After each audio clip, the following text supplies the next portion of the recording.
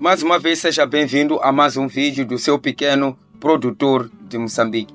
E no vídeo de hoje, vamos explorar o fascinante mundo da criação de codornas em Moçambique, destacando os seus benefícios, propriedades nutritivas e o promissor mercado para pequenos produtores.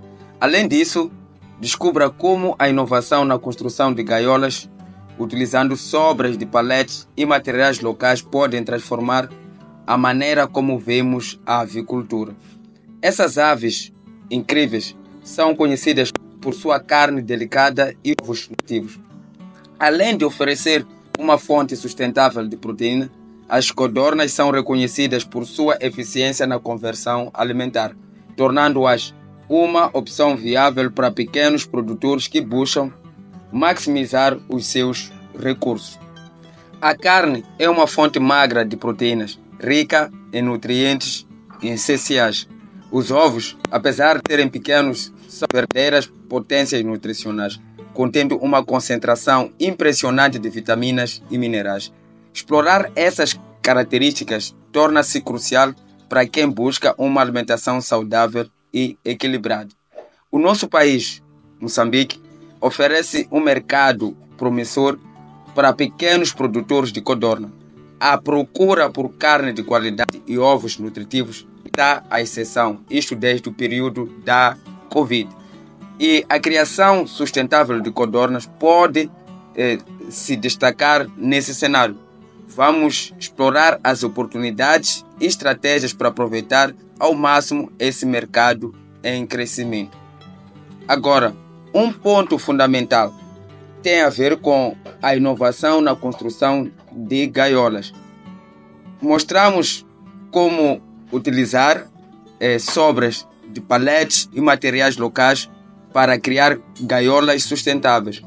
Além disso, abordamos eh, a importância de um piso vazado como este que aparece na imagem para garantir o bem-estar animal, garantindo condições ideais para o desenvolvimento saudável das codornas. É importante recordar que quando o chão não for vazado, há maior probabilidade de infecção de bactérias devido ao, acúmulo de, de fezes. Para garantir uma produção eficiente, falaremos sobre alimentação balanceada.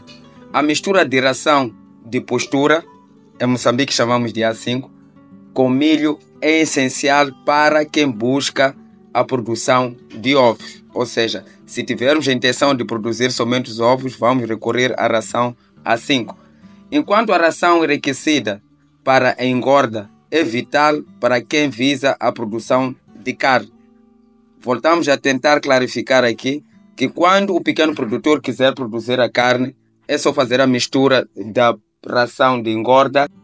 Quando falamos da ração de engorda, é aquela que chamamos de ração A2 aqui em Moçambique, aquela que serve para garantir o desenvolvimento da carcaça dos animais. A2. Porque a escolha adequada da alimentação contribui diretamente para a qualidade do produto final. O ciclo reprodutivo da codorna. A codorna leva em média dois meses e meio para atingir a sua fase sexual, ou seja, ela reproduz em média a partir de dois meses e meio. Então é um ciclo reprodutivo muito curto. Adicionando o fato da mesma levar 18 dias para incubar os seus ovos. É daí que nós achamos que esta ave traz um retorno lucrativo muito rápido.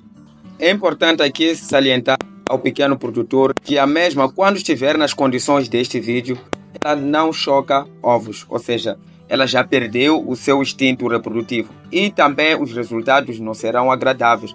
Então, nós aconselhamos que o pequeno produtor possa recorrer a outras alternativas. Se estiver numa fase inicial, pode colher os ovos diariamente, porque diariamente ela coloca os ovos, eh, principalmente no verão, e a junta num espaço onde tenha uma galinha cafrial para que sirva de incubadora natural. E se não tiver o acesso à mesma, o único curso que o pequeno produtor possa recorrer a ele é a aquisição de uma chocadeira com as mínimas capacidades possíveis e poderás ter o seu fluxo de, de, de produção muito acelerado. E se não tiver também uma chocadeira, podes recorrer aos serviços de incubação de ovos e eles estão disponíveis em vários espaços pecuários. Em forma de resumo, a criação sustentável de codornas em Moçambique não apenas oferece benefícios econômicos, mas também contribui para a segurança alimentar e o bem-estar animal. Ao adotar práticas inovadoras e utilizar recursos locais, os pequenos produtores podem trilhar um caminho de sucesso nesse setor. Esperamos que este conteúdo te inspire e informe aqueles que estão embarcando ou considerando a jornada na avicultura de Codor. Não se esqueça de se inscrever para mais conteúdos sobre agricultura sustentável em Moçambique. Fique com Deus. Até ao próximo vídeo.